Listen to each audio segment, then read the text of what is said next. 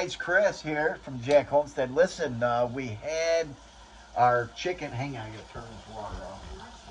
I'm sorry, our turkey taters laid a clutch of eggs and we found them. Um, we were only able to keep one because I wasn't sure about the other ones. Uh, the one that we did keep was still warm. She just laid it. So Mrs. Jack tried it already. She didn't try it with the toast, but just plain said it tasted just like a regular egg. So I'm going to try it now. I'm going to try with uh, just the whites.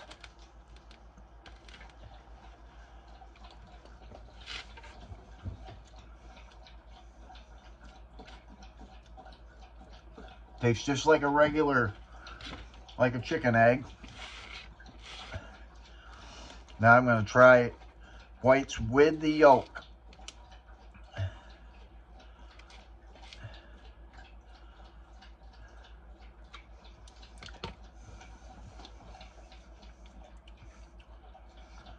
Tastes just like a regular chicken egg.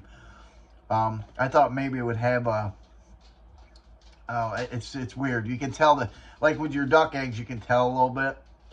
But these taste just like a, a regular chicken egg. So, from here off our homestead. So, hey, if you got turkeys, try them chicken egg, or yeah, chicken eggs. Try the turkey eggs. They're really good.